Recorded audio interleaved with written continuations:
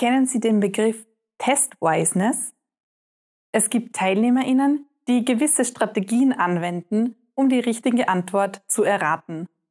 Diese Fähigkeit zur Ermittlung von korrekten Antworten in einer Prüfungsfrage, ohne die richtigen Antworten zu kennen, nennt man auch Test-Wiseness. Deshalb sollten Sie bei der Entwicklung Ihrer Optionen wichtige Qualitätskriterien berücksichtigen, die ich Ihnen gleich anhand von Beispielen demonstrieren werde. Um die Wahrscheinlichkeit des Erratens einer richtigen Antwort zu verringern, sollten Sie mindestens drei Antwortoptionen anbieten. Diese Zahl an Optionen ist statistisch gesehen ausreichend, um das Bestehen der Prüfung durch Versuch und Irrtum zu erschweren. Drei Optionen sollten Sie daher mindestens einsetzen, um die Ratewahrscheinlichkeit zu senken. Selbstverständlich können Sie gerne mehr Optionen einsetzen. Üblicherweise werden vier Optionen verwendet.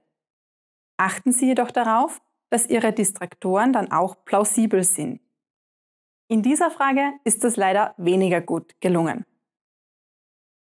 Wozu wird in der Programmierung ein Debugger eingesetzt? A. Zum Kühlen von Prozessoren. B. Zum Finden von Programmierfehlern. C. Zum Lesen von Speichermedien. Oder D. Zum Überschreiben von Funktionen. Wenn von Programmieren die Rede ist, wird ein Debugger wahrscheinlich nichts mit der Kühlung von Prozessoren oder dem Lesen von Speichermedien zu tun haben. Durch das taktische Ausschließen dieser Optionen bleibt uns am Ende eine 50-prozentige Wahrscheinlichkeit, den Key zu ermitteln. So etwas müssen Sie unbedingt verhindern. Wählen Sie daher plausible Distraktoren, die für die richtige Antwort gehalten werden können, wenn jemand die Antwort zu erraten versucht. Ich möchte an dieser Stelle betonen, dass dies für alle Distraktoren der Fall sein muss. Sehen wir uns an, wie wir diese Prüfungsfrage verbessern könnten. Wozu wird in der Programmierung ein Debugger eingesetzt? A. Zum Verbessern der Laufzeit. B. Zum Finden von Programmfehlern. C. Zum Aufspüren von Sicherheitslücken. Oder D zum Überschreiben von Funktionen. Die zwei neuen Distraktoren zum Verbessern der Laufzeit und zum Aufspüren von Sicherheitslücken überzeugen als potenziell korrekte Antwortmöglichkeiten. Alle Distraktoren haben nun einen stärkeren Bezug zum Programmieren. Manchmal kann es Ihnen auch passieren, dass Sie versehentlich Lösungshinweise in Ihre Frage einbauen. Diese ungewollten Hinweise nennt man auch Clues. In dieser Frage hat sich so ein Clou versteckt. Vielleicht finden Sie ihn. Einen besonders talentierten Musiker nennt man auch einen A. Virtuosen, B. Gourmet, C. Ästheten oder D. Koryphäe. Vielleicht ist Ihnen aufgefallen, dass in der Frage ein sprachlicher Hinweis die Lösungsmöglichkeiten eingrenzt. Der unbestimmte Artikel einen passt nur zu Virtuosen, Gourmet und Ästheten. Das Einsetzen von einen Koryphäe würde keinen grammatikalisch richtigen Satz ergeben. Wiederum gelingt es uns, die potenziell richtigen Optionen taktisch einzugrenzen. Diese Frage kann aber ganz einfach verbessert werden. Einen besonders talentierten Musiker nennt man auch einen oder eine. Fügen Sie einen unbestimmten Artikel hinzu, der auch zu den übrigen Optionen passt. Im Fragestamm wurde einen durch einen oder eine ersetzt. Als nächstes habe ich ein sehr interessantes Beispiel, mit dem ich Ihnen gerne ein weiteres häufiges Problem zeigen möchte. Worauf ist beim Schreiben einer Inhaltsangabe zu achten? A. Immer im Präteritum bleiben. B. Durchgehend sachlich schreiben. C. Niemals die indirekte Rede verwenden. Wenn Sie in den vorherigen Lektionen gut aufgepasst haben, wissen Sie bereits, was an dieser Frage problematisch ist. Es sind die Wörter niemals und immer. Mit ihnen werden absolute Aussagen gebildet, die meistens auf Distraktoren hindeuten. Durch solche Absolutaussagen lassen sich leicht Distraktoren erzeugen, jedoch erkennen die TeilnehmerInnen eher, dass es sich um einen Distraktor handeln könnte. Vermeiden Sie daher absolute Aussagen. Sie sehen in der überarbeiteten Frage, dass die Distraktoren glaubwürdiger erscheinen, nachdem die Wörter immer und niemals entfernt wurden. A. Im Präteritum bleiben. C. Durchgehend sachlich schreiben. C. Die indirekte Rede verwenden. In der vorherigen Lektion haben Sie bereits gelernt, dass der Fragestamm keine Negationen enthalten soll. Das gilt auch für die Optionen in Ihrer Frage.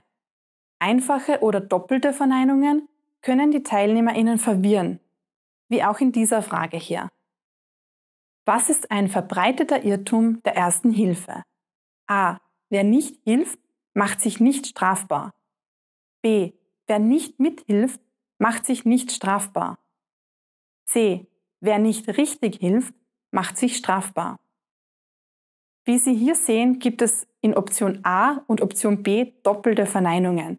Diese sind schwer verständlich und können zu Missverständnissen führen. Aber auch schon einfache Verneinungen können irreführend wirken. Daher sollten Sie Verneinungen, wenn möglich, vermeiden. Achten Sie also darauf, Ihre Optionen positiv zu formulieren. Wenn sich Verneinungen nicht vermeiden lassen, heben Sie Wörter wie nicht, fett gedruckt oder im Großbuchstaben hervor. Sie könnten die Optionen folgendermaßen ändern. A. Erste Hilfe zu leisten ist gesetzlich verpflichtend. B. Auch bei fehlenden Kenntnissen ist Erste Hilfe zu leisten. C. Falsche Erste-Hilfemaßnahmen können strafbar sein. Sie sehen hier, dass die Aussagen deutlich und unmissverständlich formuliert wurden. Auf Verneinungen mit nicht wurde verzichtet.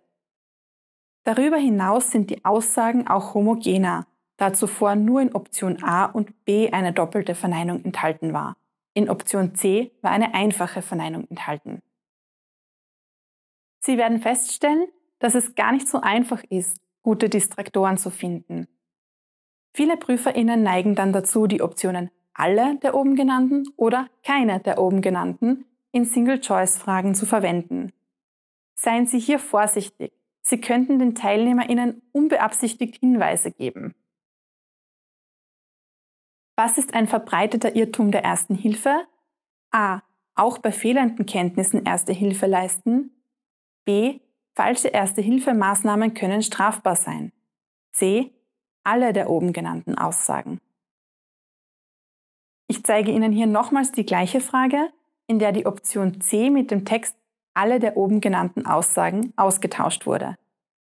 Nehmen wir an, ein Teilnehmer oder eine Teilnehmerin weiß mit Sicherheit, dass Option A falsch ist. Folglich kann auch Option C ausgeschlossen werden. Option B bleibt als die einzige Aussage übrig. Die Option alle der oben genannten sollte zudem nicht nur dann verwendet werden, wenn die Aussage falsch ist. Gelegentlich sollte diese Option auch die richtige Antwort sein. Typischerweise steht diese Antwortmöglichkeit als letzte. Sie müssen also in Ihrem Prüfungsprogramm ausstellen, dass die Optionen automatisch gemischt werden. Achten Sie ebenfalls darauf, die Antwortalternativen homogen zu halten. Sie sollten gleich lang und ähnlich komplex formuliert werden. In dieser Frage ist es nicht gut gelungen. Was ist ein HTTP-Cookie? A. Ein Protokoll. B. Eine Verschlüsselung. C. Ein Zertifikat. Oder D. Eine Textinformation, die Daten zu einer Webseite speichert. Option D ist die längste aller Optionen. Die Formulierung wirkt zudem sehr durchdacht. Es handelt sich auch tatsächlich um die richtige Antwort. Wenn wir die Optionen homogener gestalten, ist es nicht mehr so offensichtlich. A. Ein Protokoll, das den Austausch von Daten regelt. B. Eine Verschlüsselung, die vor unbefugter Einsichtnahme schützt. C. Ein Zertifikat, das die Authentizität einer Webseite garantiert. D. Eine Textinformation, die Daten zu einer Webseite speichert. Alle Optionen sind ungefähr gleich lang und enthalten einen Relativsatz, welcher mit das oder die eingeleitet wird. Option D ragt hier nicht hervor, sondern mischt sich unter viele ähnliche und plausible Distraktoren. Fassen wir die Leitlinien noch einmal in Kürze zusammen. Prüfen Sie Ihre Frage auf unbeabsichtigte Hinweise. Vermeiden Sie absolute Aussagen und Negationen in den Optionen.